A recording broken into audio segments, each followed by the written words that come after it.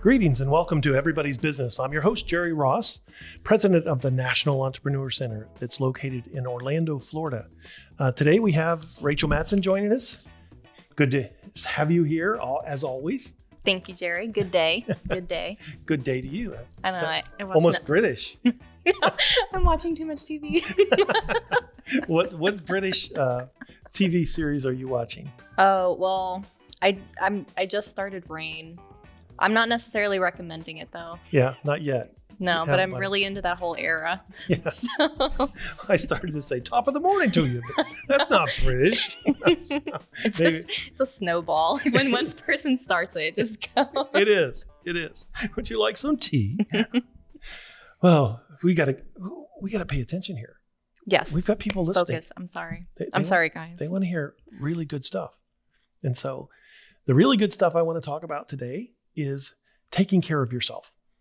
You know, we've gone through this uh, pandemic that we thought might last a week and then it maybe a month. And now it's lasted, you know, nine months that we've had economic turmoil, shutdown, isolation.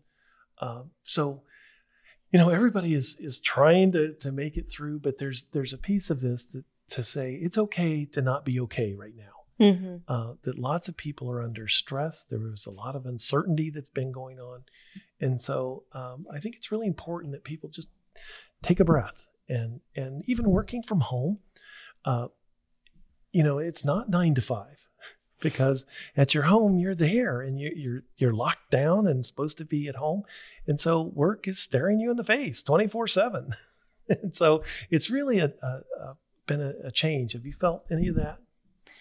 Yes, I I can completely understand where everyone is feeling. The whole, well, for one, if you're just being in one room, you you know you're not normally you know at the National Entrepreneur Center. We're walking around the training rooms and you know going to get coffee um, at our little station and things like that, and speaking to people on a daily basis, face to face. And when I don't have that face to face interaction, you you can easily feel isolated. Sure, and so I completely understand that. and and I'm a social person, you know. Right? I, I, I was called a social butterfly when I was in elementary school, but I got in trouble for it. But still, and and today that's one of the things we love the most is is people being social. I'm a hugger. I love to hug people Yeah. and and encourage them, and that's really hard to do over the phone. You know, Mhm. I I said uh, to someone I was talking to yesterday, telephonic hugs. You know, it's not the same. I got to tell you. Uh, so we've got that going on, but there's also uh, the logistics of if if your spouse is at home, uh, working from home as well. You know, you're trying to share space, uh, trying to share internet. Uh, if you have kids, you know, maybe you're trying to juggle being a teacher as well, and and they're trying to to stay online and and uh, continue their school, and they're having social issues as well. And so it's been a very difficult uh, time, uh, not only for um, parents, kids, business owners, uh, but our country as well. Mhm. And so I, I think we've been through a very stressful time, and it's it's really important for people to to realize that um, not only do they need to take care of their business, they need to take care of themselves as well. Mhm. You, if you aren't taking care of yourself, then you're not able to help all the others, Right. whether you know physically or even within your business. Right. And so sometimes just getting out to walk the dog, you know, gives me a new lease on life, you know, even though I do have my mask with me. uh, sometimes uh, just waving to a neighbor, you know, where you can see them uh, makes a lot of difference. And so Zoom helps. Uh, You know, Yes. having that technology is, has been uh, wonderful, uh, but it's not a substitute for that real personal relationship that you can have. Uh, so uh, I would like to encourage anybody who's who's uh, thinking, you know, I can do this, but but I don't feel good, or or they might be depressed somewhat, Mhm. uh, to say uh, you're not alone. Uh, this is a difficult time, and it's okay to to recognize that this has been a challenging time for you. And if you need help, you reach out for help. Uh, that there's there's a strength in that. You know, that's not a sign of weakness. That's a sign Mm-mm. of maturity. Uh, to say, I, I just need to talk to someone. I need some help. And so that's all part of not only uh, being a good business person, uh, but being a good friend, husband, wife, parent, uh, whatever that is, uh, take time for you because your health is important to the health of your business. So let's get to uh, our guest. Who who do we have on on tap for today? We have John Crossman. He's the president of Crossmark Services uh-huh. and um, Crossman Career Builders. Uh, John Crossman has been very uh, instrumental in the success of the National Entrepreneur Center because uh, he was one of the first ones that envisioned us um, moving to our current location. And he kind of cast that idea and, and uh, that vision, and together we made it happen. So, uh, a good friend and, and a good mentor to me. So, I'm looking forward to the interview with John. I think you'll like that. So, stick around. The National Entrepreneur Center in Orlando, Florida has been around since 2003 and today is home to 14 business support organizations who have a single mission to help you grow your business. Through free business coaching, low cost training, and valuable business connections, these 14 business support organizations assist thousands of entrepreneurs each year in starting, growing, and scaling their businesses. So, why not visit the website at nationalec.org today or give us a call at 407 420 4848 to discover how you might take your business to the next level. And by the way, the National Entrepreneur Center is funded entirely through local sponsors, which include Wells Fargo, Orlando Utilities Commission, Regions Bank, and the Corridor, just to name a few. So let's get connected today and get growing. Check out our website at nationalec.org. Welcome back. You're listening to Everybody's Business, a podcast from the National Entrepreneur Center. I'm your host, Jerry Ross, president of the National Entrepreneur Center. Today's guest is John Crossman. John has over 25 years' experience transforming businesses and outperforming expectations.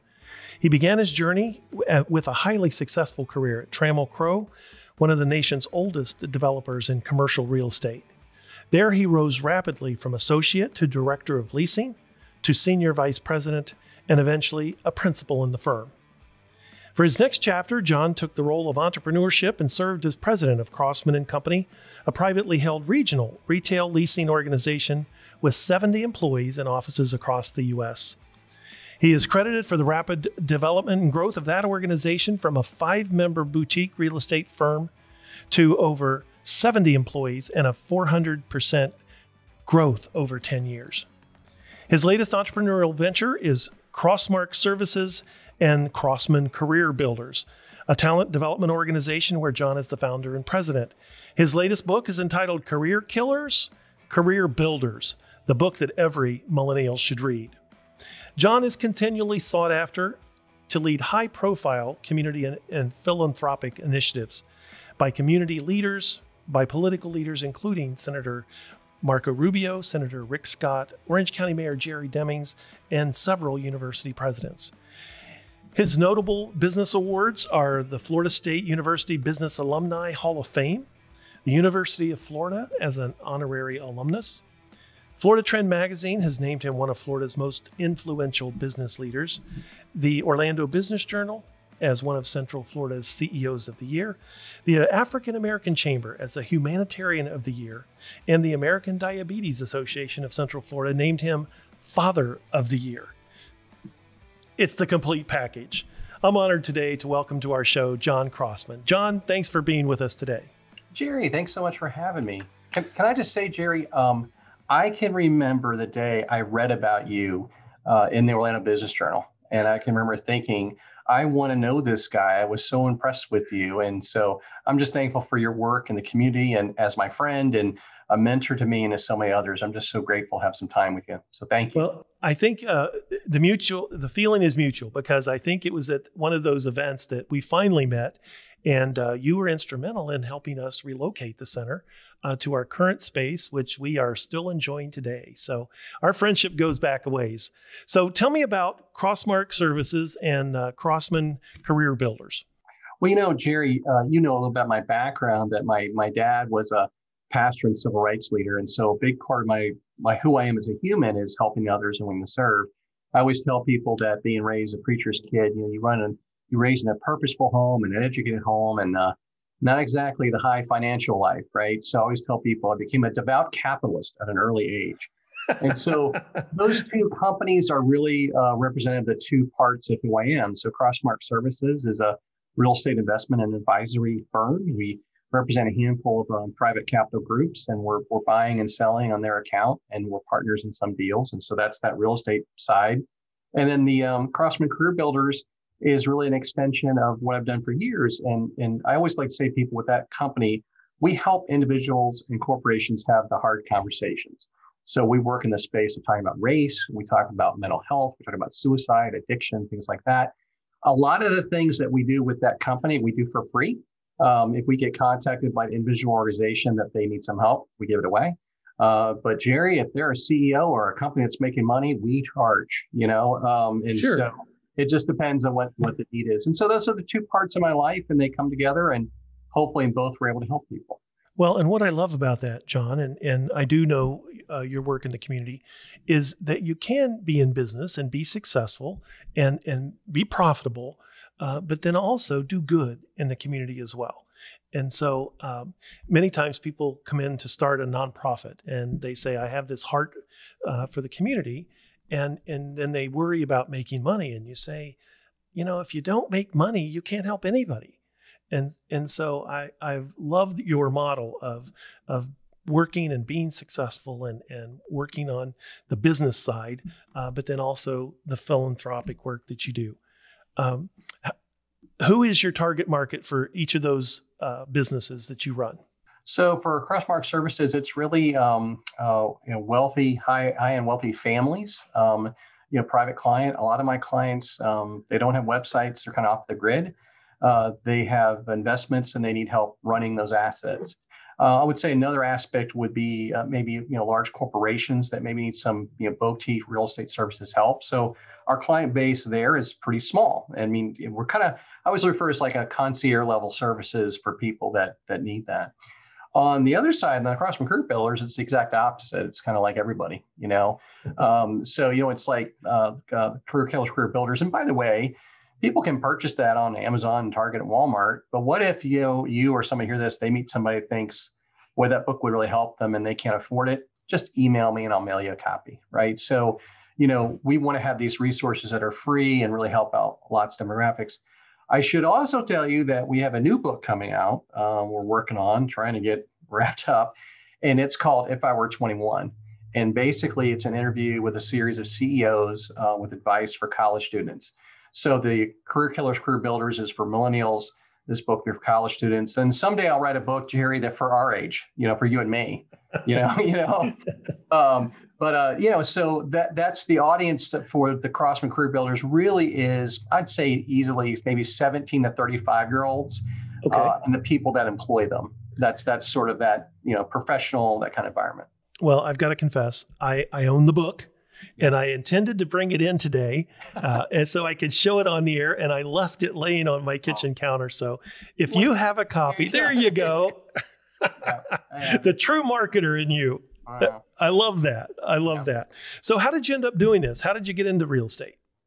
Well, you know, uh, it, it's a journey, but I'll tell you a couple things that highlighted. I mean, one, it does start with not having a lot of money growing up. And, you know, I, not that I really have ever seen myself as a materialistic person, but, um, you know, when you have scarcity, you know, when you just don't have things and you're trying to kind of live survival mode, it's hard. And so I just knew that I wanted to have a job where I can work a ton of hours. I just, I like work. I wanted to work hard. So, so that was part of it. The second thing is, is that um, I went to FSU and I had a, um, uh, I took a real estate class there. And the professor said, if you're a finance major, you should switch to real estate because you'll have more fun and you'll make more money. And you know, at 19 years old, that sounded like pretty good advice. That's when, when you wake up and say, well, I, what, "Do that again. I'll take yeah, notes yeah. now."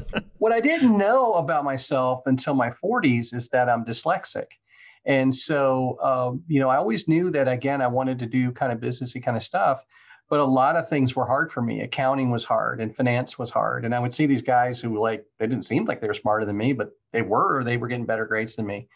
Whereas real estate's tangible. You know, I really feel like if you're talking about investing in something and there, someone talks about a stock portfolio or a bond portfolio, that seemed a little bit elusive to me. When you're buying a piece of property and you can go look at its physical.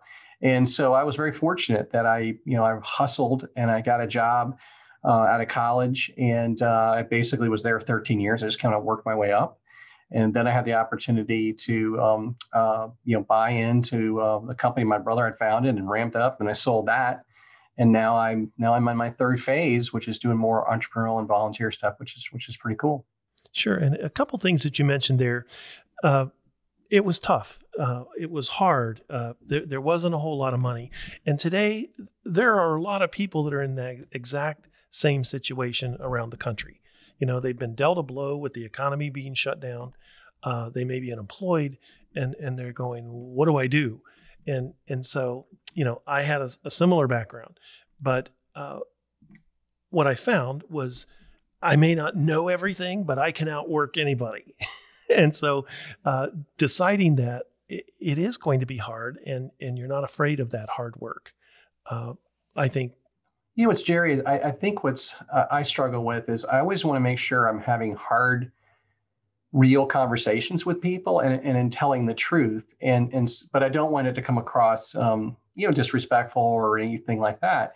So let me try to word this properly. Like, if you looked at my career, if you if you had a camera like right here behind me following my career around, if that camera would pull back and lift up, most of my 20s and 30s, you would see me in a sea of desk, and I would be in, in an office by myself. I can't tell you how many for years I would every Saturday I worked, you know, from nine until one, sitting at my desk all all alone. Um, and so I absolutely outworked people. Um, and I, I my first full year in real estate, 1994. You know, graduated 93, so I worked a little bit, but the first full year 94, and I worked like a crazy wild person you wouldn't believe. I made twenty thousand and seventeen dollars. Okay.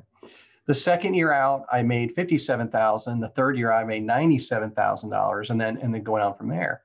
So a lot of people would have never done what I did because my hourly rate was awful. You know, I was working 60 hours a week and I made that money. But I was really, I was telling a friend of mine, I said, if you took a young young woman and from age 20 to 30 her she was become a medical doctor well in that 10 years what would be her hourly rate well it'd be awful right? But then she has this career and she's doing these great things. And so you know i wasn't focused on that. I was focused on you know the big the big ramp up. And so when i'm thinking about trying how to advise young people there, there's some sort of balance of expectation and um, sacrifice. You know like if you don't want to work those hours, you know, you, you're probably going to make less money and then sort of adjusting your life that way. Uh, but I don't know how to tell people any way different that if you want to have, you know, true greatness in, a business sense, I don't know how you do it without working just ridiculous hours. I've never seen it happen for anybody. Everyone I know that has been successful has worked hard. Uh, persistence, hard work, grit, all of those things that make up uh, those people that uh, are successful that you look at it, but you don't see all of that um, history of hard work that goes with it. Uh, hold on to those thoughts. We're going to come back and talk to you uh, about advice for entrepreneurs and small business people getting started uh, right after we return from these messages. The Nash Entrepreneur Center has made it easy for you to learn business principles from anywhere at any time with NEC Online. As a supplement to all the great resources at the Nash Entrepreneur Center, you now have free access to over 300 learning modules that you can access at any time. Thanks to the generous sponsorship of Wells Fargo and our partnership with The Lonely Entrepreneur, you can access this powerful online learning platform for free. Learn on your own time and at your own pace. Access product reviews and participate in weekly group coaching opportunities. Right now, the only thing missing is you. So check out our online learning platform today at nationalec.org. That's nationalec.org. Did I mention it's free? And we're back. You're listening to Everybody's Business, a podcast from the National Entrepreneur Center located in Orlando, Florida.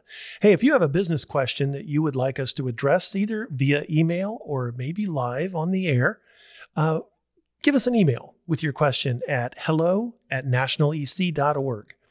On today's episode, we're talking with John Crossman, a successful uh, real estate entrepreneur, but also uh, an entrepreneur over and over again. Uh, John, let's talk about the entrepreneurial journey. If if uh, was there a time in getting started that you were uh, scared, uh, where you didn't know what to do, and and then how did you deal with that? I think that there's really kind of two two parts to that. One is I think always focusing on coming back to core blocking and tackling, right? Like, you know, if you think like like when I was leasing shopping centers, the job was to, you know, get tenants in the vacant spaces, right? So get up every morning and staying focused on that job and then, you know, communicating well with my clients. Like there's a there's a core like make sure like it's like like you know if you're coaching a basketball team, put the ball in the hoop, right? Like there's a core of that. Old, old uh, Vince Lombardi, you know, this is a football. You know, yeah. You know, and, Getting... I, and I think you know you can't get away from just that core things that all salespeople, entrepreneurs, business people need to do. There's that.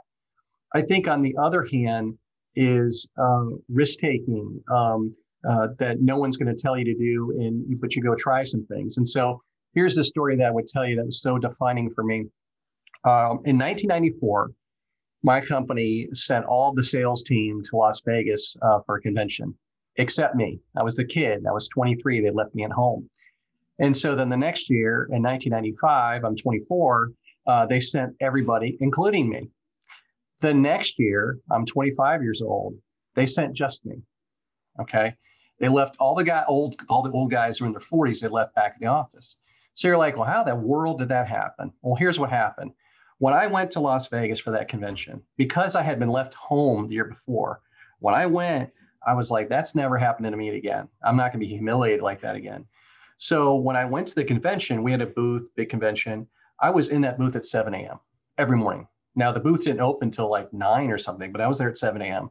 And I refused to leave until everyone else left. Well, Jerry, when I got to that booth at 7 a.m., who was the second guy to show up every day? It was the CEO, right? The CEO showed up. And so the next year, in that year where they sent just me, there was huge budget cuts. And so the CEO told the company president, send one guy from Orlando, send Crossman. Now, here's the thing, Jerry. When I was there that year, that first year, did I know what I was doing? Nope. No. I had no clue what I was doing. I was like just showing up early and being busy and smiling and trying to find stuff to do. So then, like the next year, two years later, that same CEO sold his company, had 1,500 employees.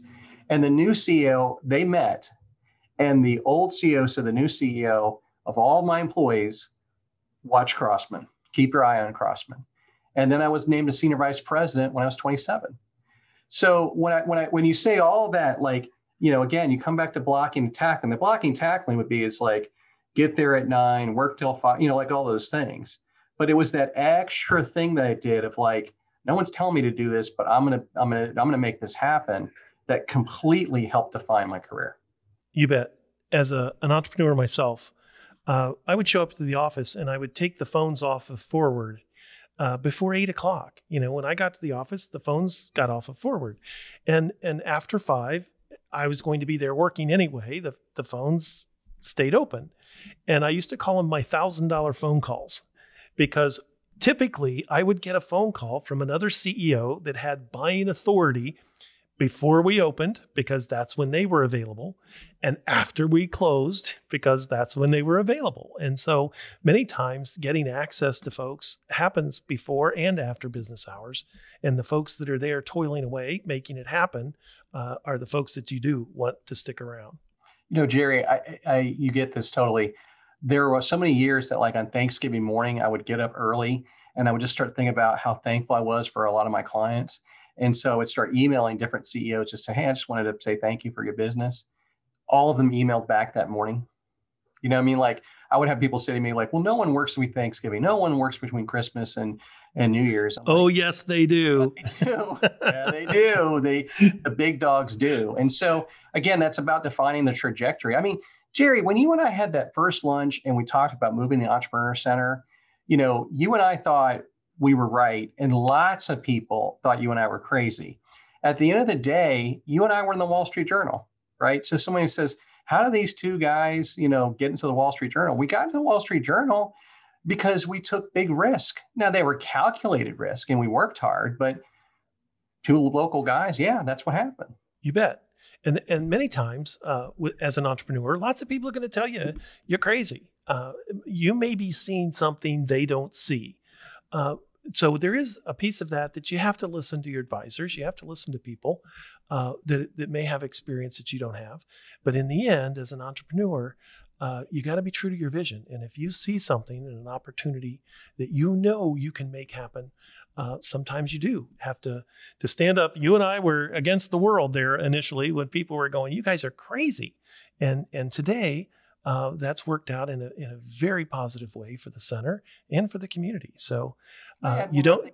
Jerry, yeah, sure. Do you mind, Jerry? I think the other thing that defines you uh, is something I was thinking about this morning, and we've we've talked about this that right now in my life, I'm, I'm a healthcare surrogate for a gentleman who, who doesn't have really any family, and I'm helping him out. And this morning, I was meeting with the doctor and talking about next phases. And it, it's a hard situation. He, he had a stroke and has cancer and things like that. The doctor looked at me this morning and said something shocking to me. He said, You know, we're, we're really amazed with how much care you're providing him.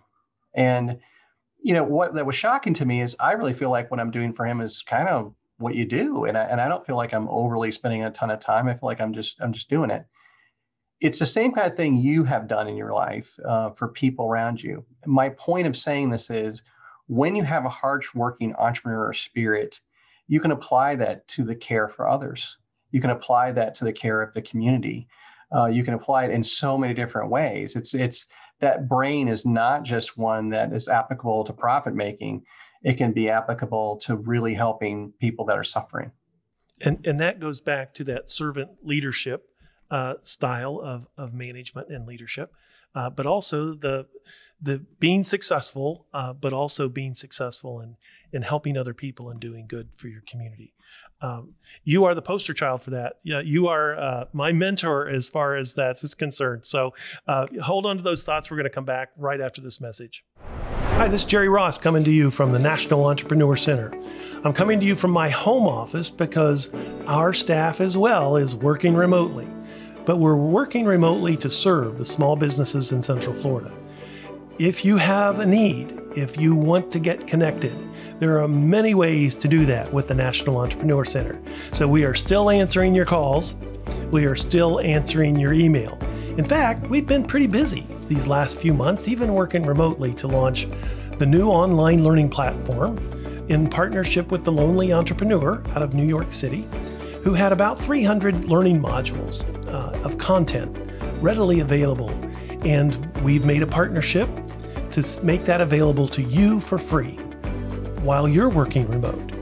So while you may be home working alone, you don't have to be alone because the National Entrepreneur Center and our 14 resident organizations have one mission, and that's to help you grow your business.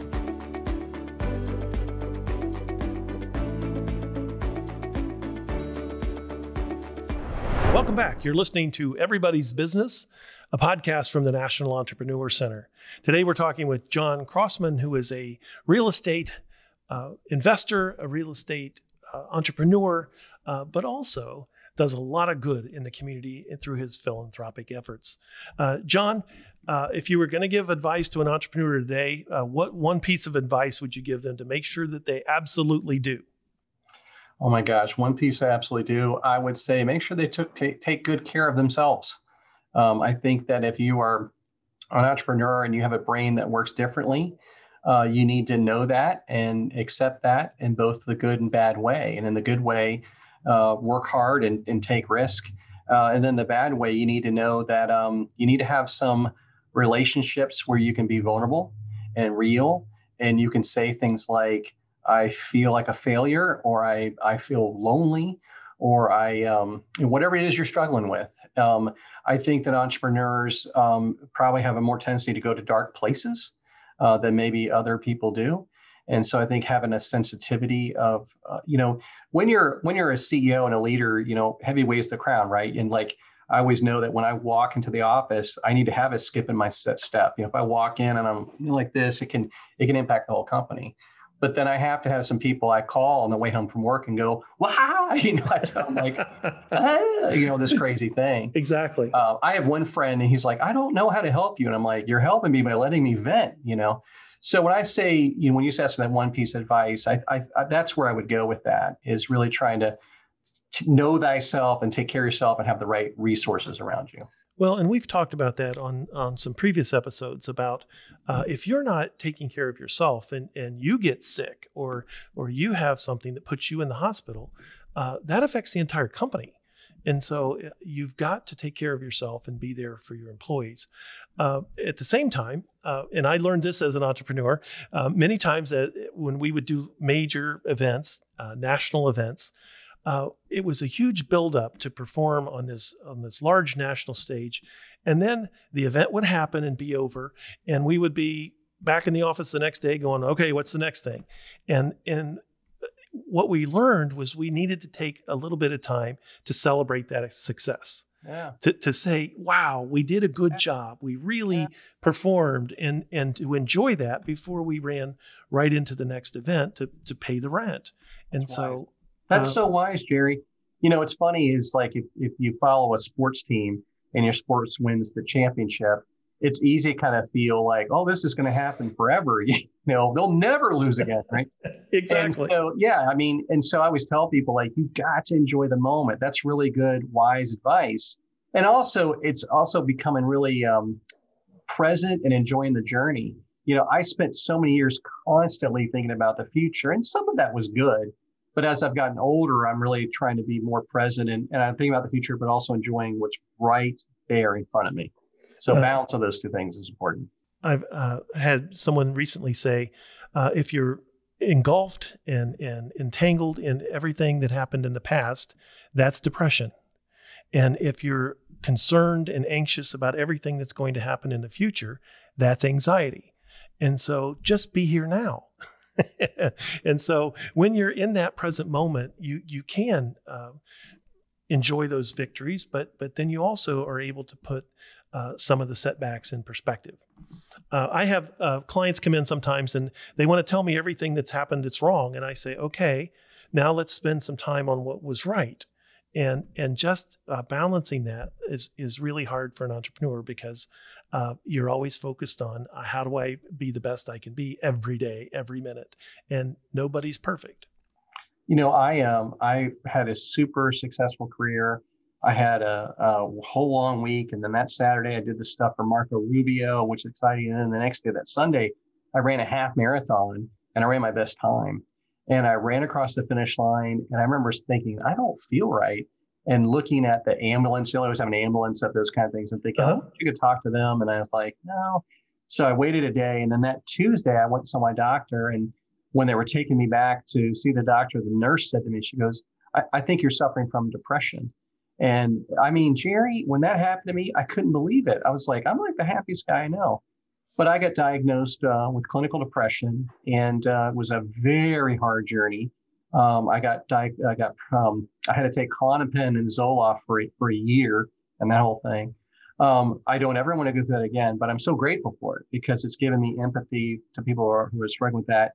But what it really did was able me to lean in on some of my weaknesses, which was talking about feelings and really kind of unpacking some different things. And so um, I didn't get to the place of peace I have now by reading about it in a book and it just naturally occurring. I had to go through some dark moments to get there. Um, and so I'm grateful for that. But that's why when I when I talk to our dreamers, I'm trying to help, you know, get in front of that and deal with some of those things so they can have better. I needed more tools in my toolbox. That's what I needed, and now I Right. have that. But I did not. I wasn't even aware I was missing the tools for a long time. Well, and that's uh, the the important step is to say, uh, I need help. You know, I'll reach out, I'll, I'll ask for help, uh, and sometimes entrepreneurs don't want to do that. So, wherever you are listening to this podcast, there is help for you, whether that's uh, business help through the small business development centers in your region, SCORE, which is a volunteer organization that will mentor businesses for free, or your mental health, because uh, this year has been filled with lots of mental health challenges just by uh, the upheaval that's happened in the economy, the uncertainty that's happened, the the being uh, quarantined at home, and the loneliness. You don't have to go through this alone. Uh, entrepreneurship is a team sport, not an individual sport. And so, John, uh, you know, the the greatest message I could give today is uh, reach out for help. Whatever kind of help you need, it's it's time to reach out. What would be one thing that a business owner should never do, John? Quit. Never quit. You know, I, I mean, I do think somebody said one time that being in business is like being in a heavyweight bout. You know, like you know, sometimes you're going to pound somebody in the face, and sometimes they're gonna they're gonna pound you. You're going to get stung and they put on your butt. And the key thing is is to to get back up. You know, you got to keep you got to keep getting back up, and just know that that's part of it. That's just part part of it. And you know, to your earlier point is like sometimes when you're you're on your butt, you got to you know ask for the right kind of help, and sometimes you don't know. And when you're talking about the free resources like with SCORE and other things, you know, I just want to mention that, you know, what else is it free out there is, is Al Anon, you know, and there's lots of recovery groups all across America, but any city you can think of, if you Google it and you can show up for free and you can talk and there's no judgment and it, and there's skill sets out there. So I would say don't quit, ask for help and know that there's an unlimited amount of, we live in a great time, guys. We live in a great time and there's lots of great resources out there. So, what is your outlook uh, for the economy, small business, our country? Uh, look into your crystal ball and what do you see for the future? I think for people like you and me, um, it's a lot of great stuff happening. Um, let me balance that. I, I think that it's like when I talk to college students, Jerry. I have this lecture ready for students, and it's really good advice. Just go with me that I give good advice, okay? okay, and, okay. I'll, I'll, that's a hard leap here. Uh, I'll so try. I, yeah. So I was doing this, and I and I got done, and a young lady came up to me, and she said, "Well, what do I need to do?" And I said, "Well, I, I just told you, you need to do this stuff." And she's like, "Well, everybody in the room is going to do that. So what can I do to stand out?" And I said, "Listen to me. When I give these speeches, I tell students the things to do. About four percent will do it." About 4%, right? And so if you're an entrepreneur, you're listening to this, uh, you, you, know, you're in the 4%. Like the, the world is always going to need people who come with ideas and have high energy because so much of the population is very apathetic and very stagnant and they just kind of sort of plop along. So people that are in that genre, people like you and me and your listeners, there's a special place for us. And it's uh, it doesn't mean just in a profitable business side. We need them all over the place in every area of industry. We need people that think this way. Now, we're all going to get our hearts broken, Jerry. You know what I mean? There's a there's an old expression that says every love affair ends in tragedy, and that just means that everyone we love is going to pass. We're going to pass. They're going to pass. We're going to lose people, right? And so we have to lean into that and and and learn how to get our hearts broken and cry and process that you know, I, I think that maybe I used to think that life was the avoidance of some of these hard things. And as I've gotten older, it's not that. It's uh, it's embracing them and processing them in, in healthy ways. Right. So you're asking how I feel about the future. Uh, I listen, you know, every people say things were better in such and such time. I'm a history guy. They're wrong. This is the best time to be alive. I have no, well, I don't know what they're talking about. This is a great time to be alive. It's a great place to be and and then sort of in, invigorating our role uh, in, as part of it. And I think I think there's some of the greatest opportunities you can imagine. I mean, for uh, minorities, for people with disabilities, for people who are um, you know felt marginalized. This is the greatest time in human history for people who maybe don't have a formal education or have a non-traditional education or they have a learning disability like me. I mean, I could go on and on and on man, there's a greater opportunity now to change the world than there's ever have been. So I'm I'm excited, and I just will say that with that passion, there's going to be hard times, but it's worth it. I, I agree fully. In every chaos, there's, there's opportunity. opportunity. And, and, and so this economic chaos has brought opportunity for uh, lots of different companies to pivot, but mm-hmm. also mm-hmm. it's opened the door for entrepreneurs with new ideas because every business is rethinking how they do business. Uh, we're going to take a break, hear from our sponsors, and we'll be right back. We're talking with John Crossman. As we go through this year of the pandemic, many of us thought that would only be maybe a few weeks, maybe a month, but now that it's gone on for months, people are realizing that maybe we're not going to be doing business the way we used to. Maybe business has changed forever. Whole workforces have pivoted to working from home Schools closed, businesses closed, live events canceled. COVID 19 has pretty much turned our daily lives upside down. Dealing with a global pandemic has also made us rethink how we do everything. Schooling our children to serving customers, it's difficult. Any kind of change is difficult. But when you add to that all the uncertainty that comes with an unpredictable virus, a virus that could be fatal, it's no wonder that folks are feeling a bit stressed these days. So if you are feeling stressed right now, it's okay. You're normal. What you need to know is that you're not alone. Most everybody today is feeling the stress of the situation. Maybe in different ways, maybe with different circumstances, but believe me, everyone has been affected. It's okay not to be okay right now. You are allowed to take time for you to regroup and to recharge. I think there are some aspects of what we've found from working remote that are good. That we've learned to use different technology. We've learned new ways to stay in contact with each other and with our clients. And I think even when things do get back to normal, whatever normal may be, that we'll find that some of these aspects of technology and video conferencing, online learning, all of those things will be carried forward into the new way of doing business. Remember, in times of chaos, there is always an opportunity.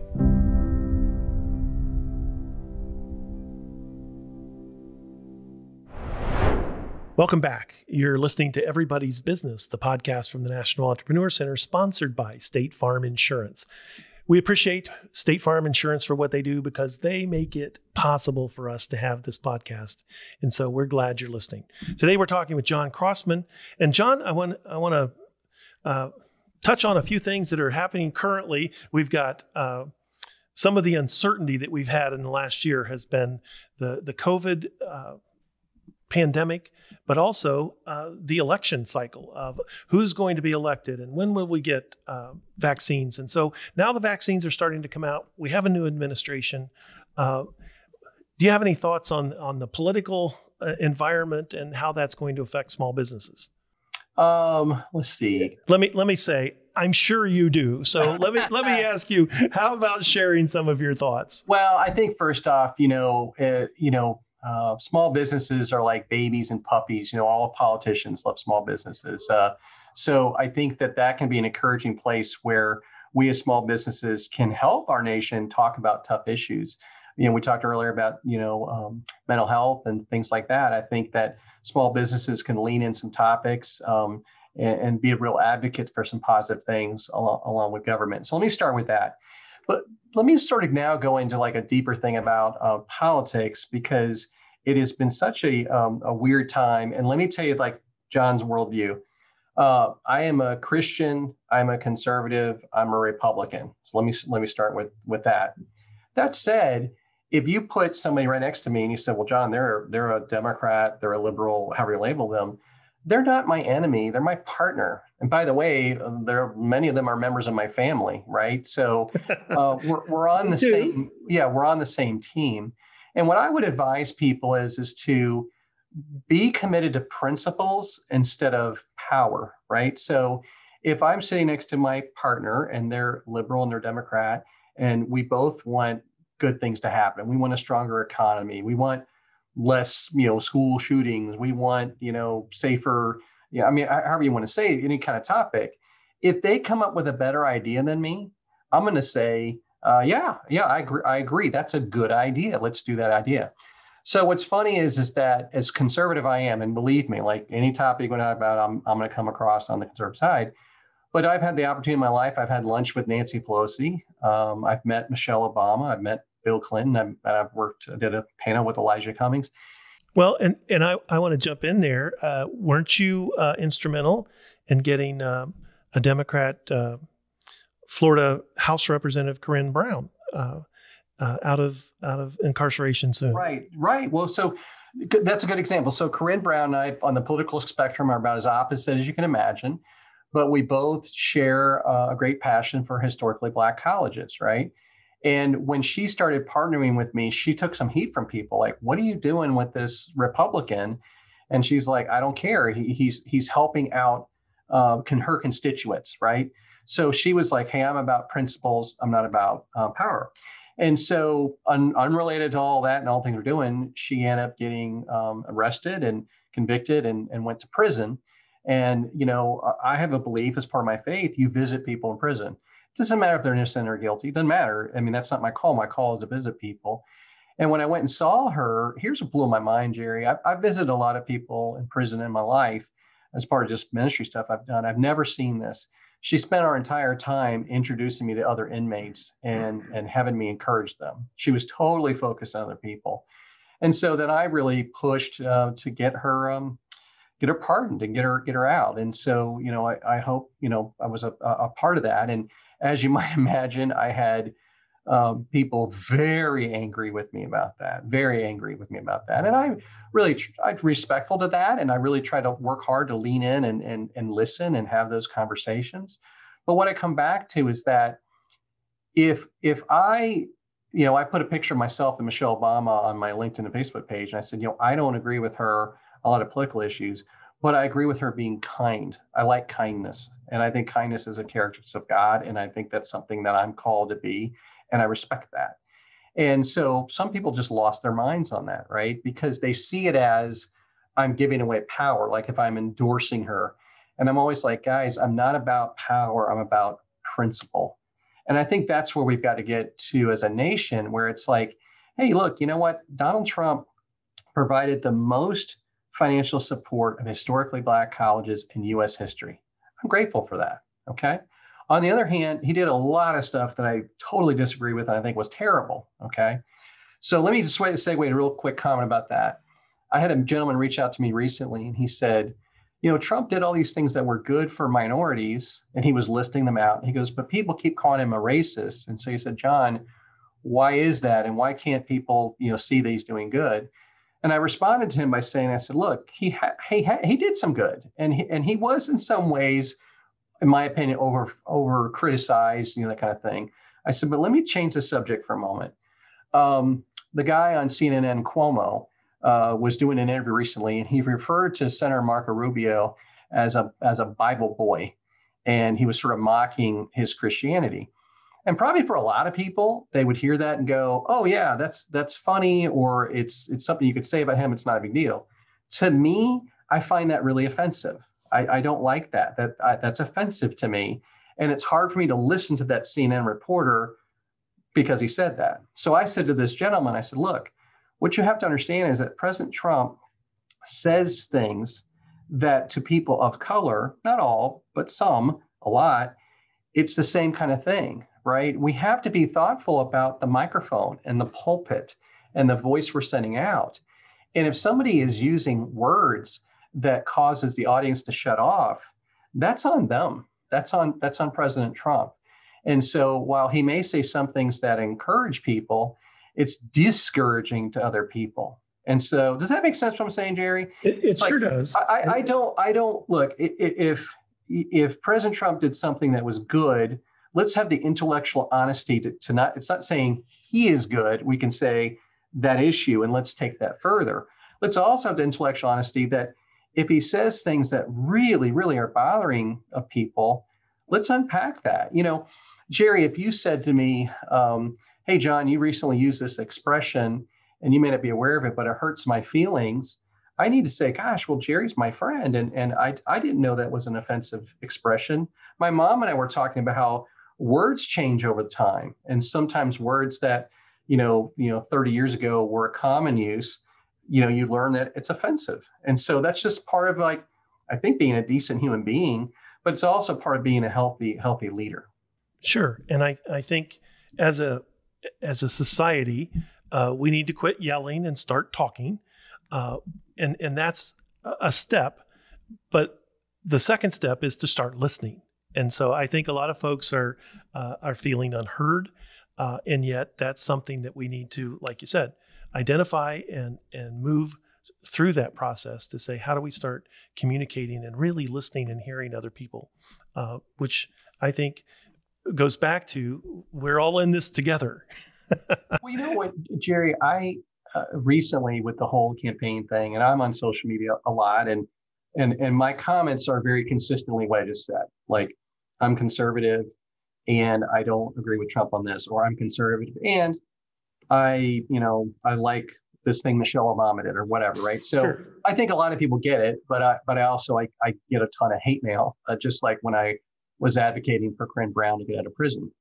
And I'm okay with that. I mean, I, I bring on myself for taking that stance. But here's what's fascinating, Jerry.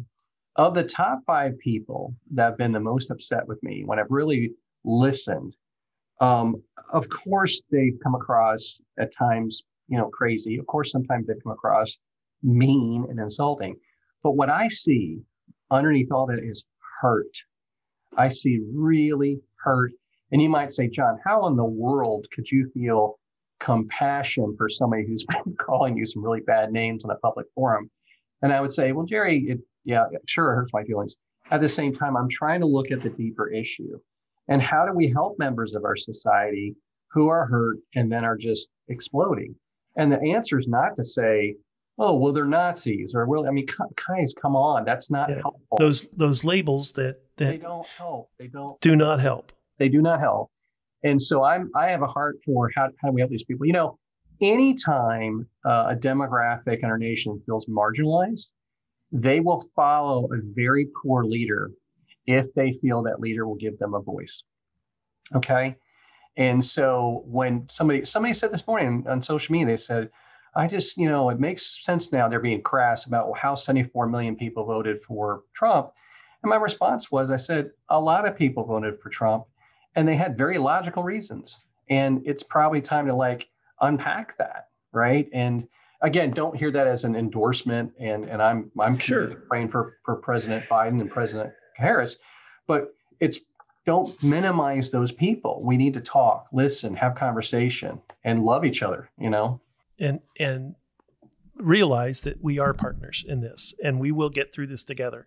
We've had challenges in this nation before. We've had conversations, tough conversations in this nation before, and it will continue uh, because we are are looking to form a more perfect union. We'll be right back. Don't go away. The Nash Entrepreneur Center is a public private partnership that is dedicated to promoting the growth and development of small businesses. The center is home to a variety of independent nonprofit organizations that offer free business coaching, low cost business training, and powerful networking opportunities. Since 2003, the National Entrepreneur Center has successfully provided economic development through small business development. Anybody can connect with the National Entrepreneur Center by visiting the website at nationalec.org. That's nationalec.org to connect with resources that are great for everybody's business. Welcome back. You're listening to Everybody's Business, the podcast from the National Entrepreneur Center. Today we're talking with John Crossman. And John, uh, I want to get to the, the real meat of the issues today. Where did you grow up? well, being a preacher's kid, we moved nine times. So I was born at Fort Lauderdale and then I, I had some high school in Gallie and, and uh, graduate high school in West Palm Beach, and then spent a lot of my life in Central Florida. So Central Florida really home. So you are a Florida boy. I am a Florida boy for sure. what did you want to be when you grew up? You know, um, honestly, I can remember being want to be a real estate guy uh, pretty early on. I think the other thing that I had a lot of thought about was being a hospital administrator, and um, I, I still like doing that stuff too. So I, I had a sense of the things I'm doing now. I was thinking about back then. Well, that's that's interesting. You, you had that that vision, knew where it wanted to go. Uh, what were your hobbies and interests growing up? Uh, you know, running, um, and I still do that. Uh, coin collecting, and I, I still I still do that. And uh, my mom's been giving me some of my dad's old coins, and for another time another day, I'd love to show you some of them because some are really interesting. I would love that. I used to have a paper route, and I would come home with all of my change and fill up my little Lincoln penny books. I'll tell you. Uh, here's a weird one. Um, before uh, World War II, uh, the swastika was used by all kinds of groups of people um, and it meant different things. You know, a lot of people don't know this, uh, but the Boy Scouts of America actually had a medal that had a swastika on it, and it stood for gratitude. And they had a little hole in it so they could put the coin on their shoestrings. Okay, I have one of those. I have. Oh my one. goodness. Yeah, and so when you look at it, it's from like 1904, and it's a swastika, and it says Boy Scouts of America, and you're like, what? It's like, like it just seems so crazy conflicting, but it just it goes to show you know that that symbol. It's from India originally, I think, and so yeah, nuts. So I I just find that stuff fascinating. The crazy things that you find and the the meanings that change. Right. Uh, did you have a mentor, uh, a role model, somebody growing up that made a difference in your life?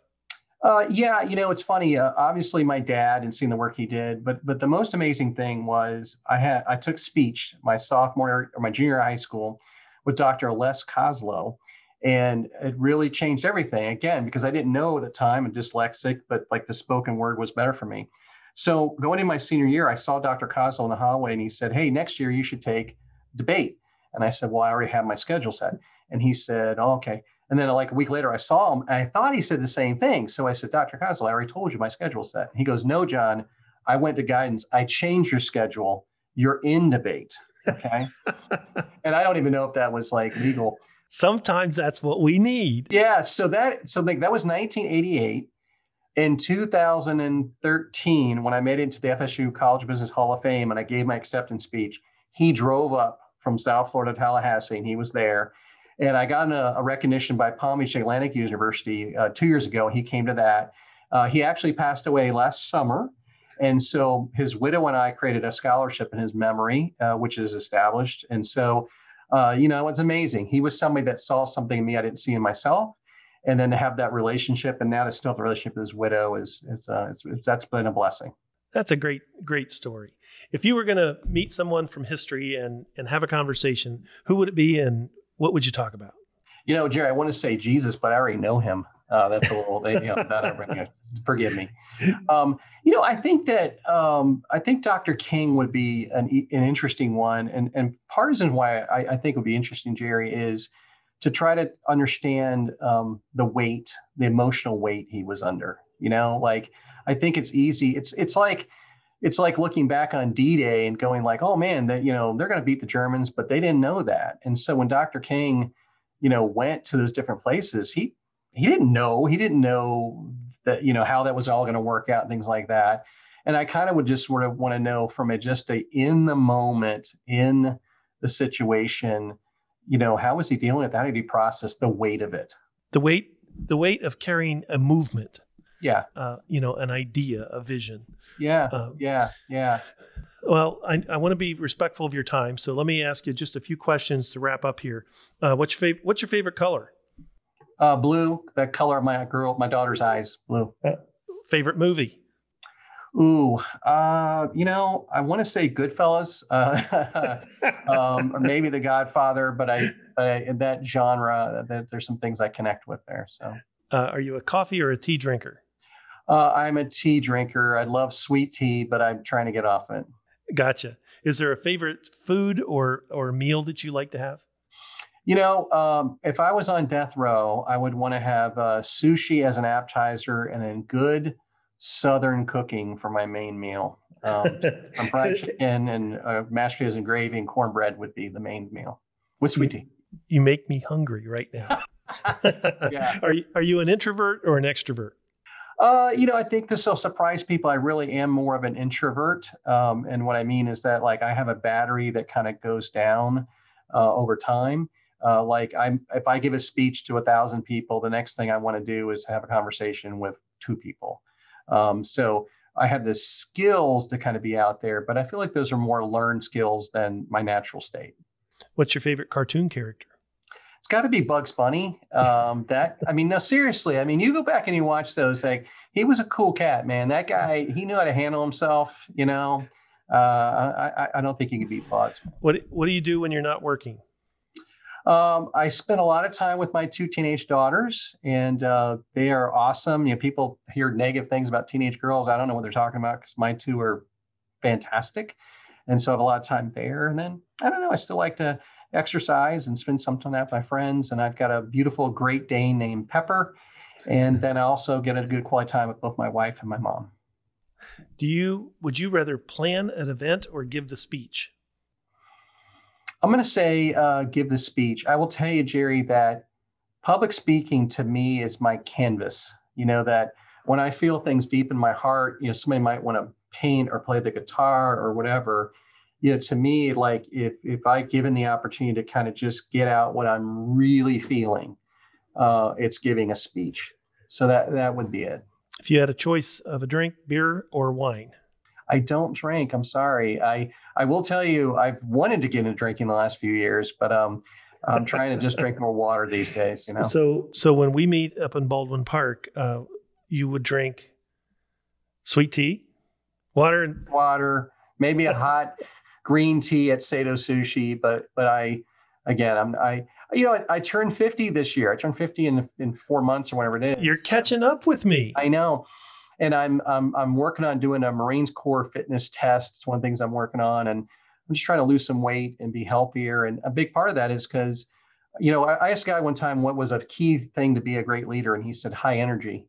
I do think that's true. You know, like we want to help a lot of people. So trying to be focused on that. John, I appreciate your time. I know you're busy and you've got lots of things going on, uh, but thanks for taking time to share with our audience um, your experience and, and your knowledge. Uh, if someone wants to get a hold of you, how do they reach out and connect with you? Uh, they certainly could go to my, my website, which is www.crossman, C-R-O-S-S-M-A-N-C-B.com, crossmancb.com. And so I do paid public speaking, consulting, things like that. If they go to that website, they can get in touch with me. Um, but I'm also pretty easily findable. And so it's Crossman CB as in career builders. Career builders, you got it. You got it. Thank you, John. And we're going to take a break and come back with some final thoughts. Don't go away. If you have a business question that you would like to have answered, or if you would like to suggest a topic for discussion, we would love to hear from you. Just email Jerry at hello at nationalec.org. That is hello at nationalec.org. We're back with some final thoughts on our interview with John Crossman here in Orlando. Uh, who doesn't like John Crossman? I know. You just want to give him that virtual hug. I know. well, and he was talking about taking heat and you know the people that were writing his nasty grams, and I was trying Yeah. to think who who wouldn't like this guy? You know, he's not only uh, uh, been a successful businessman, uh, he's willing to share that experience with our listeners, uh, but he's also got a heart for helping people and and oh, yeah. people that he's helped in the communities and the, the scholarships that, that the company has helped fund uh, have have really been one of those people that you know they they not only talk the talk they walk the walk No, yeah. I mean, just him sharing his personal experiences really helps, um, you know, help someone like me in general, who, you know, I think as a human in general, we all have, you know, in our mind our own thoughts of, oh, maybe this isn't to be okay. um, but, you know, to hear so- from someone like John and then know that the light's at the end of the tunnel, um, it's really just great. sure and someone who's who's dealt with depression Mhm. and and said um, you work through that and and there's a way to work through that and and was strong enough to reach out for help uh, and do all those things that we we talked about earlier Mhm. And so um, uh, he's been a, a mentor to me. Uh, but I also think that that's that's one of the, the people that you look at and say uh, that's someone that, that I can learn from. And and every time I talk to him, I learn something. And so those are the kinds of guests we want to bring to you on everybody's business. So you keep listening, and we'll keep learning together. Thanks for listening. We'll see you next time.